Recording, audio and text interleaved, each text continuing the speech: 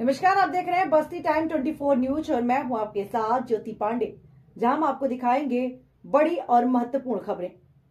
तो हर राज्यों की खबरों को देखने के लिए चैनल को अभी लाइक करना, सब्सक्राइब करना और शेयर करना ना भूलें। तो चलिए शुरुआत करते हैं कुछ खास खबरों से।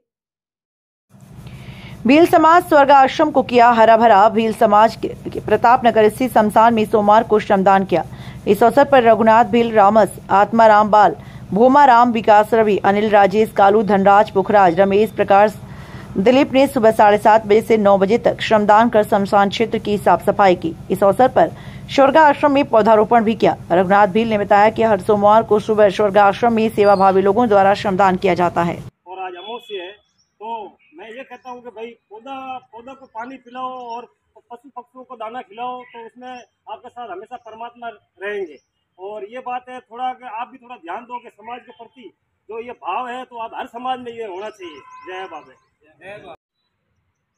आज प्रताप नगर समाज की तरफ़ से आज पौधारोपण रखा गया अमोस है। आज बहुत ही पुण्य का दिन है और पूरी युवा साथी जिसमें रामसा आत्माराम बालू पुखराज धनराज बालू अनिल राजेश भूमाराम रवि और रघुनाथ भील। ये कार्य में, मैं तो आगे भी कहना चाहता हूँ कि ये कार्य हर समाज में होना चाहिए। पौधा रोपण का, जब जब पौधा रोपोगे वह परमात्मा का वास होता है।